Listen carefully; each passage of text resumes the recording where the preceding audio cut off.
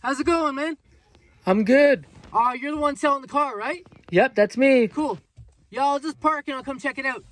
Okay. Awesome, sounds good. All right, cool. Yeah, man, I'm right here. Hey, bro. Yeah. Well, this is it.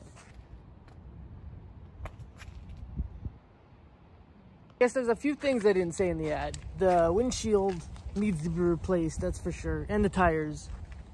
The fenders are a little bent. And it just got broken into just a little while ago, so the ignition's fucked up too. All right, what's the lowest you can go on it? Thinking five grand? Maybe 55? Yeah. Five grand, eh? Can I hear a run? Uh, it's not running right now. It's a bit of an issue the last couple of days. Said it was in good condition on the ad. Said it ran and everything was good. Yeah, the ad's a little old. I gotta update that. I can get my kids out here. We could like push it down the block. You can sit in there. We can all just push it and see how you like the handling and steering and stuff. Eh, no, I don't think that's a good idea.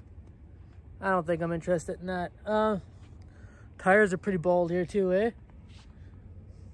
Yeah, well, I can go down to 49. I think that's the best I can do. Sorry, man. It's a little dirty inside too. It's definitely gonna need a cleaning.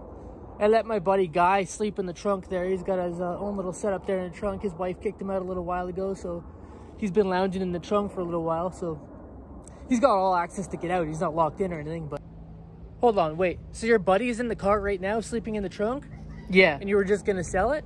He has no idea. Well, I was just gonna I tell think him. I'm just gonna let him lounge out in there. I don't think I'm interested. But have yourself a good day. Yeah. Well, his kids get to visit and stuff too. I just let them all just hang out in the car. I got he's got the spare key, so he's got his visitations in the car there too. So it's or whatever they go. All right. Well, have a good day, man.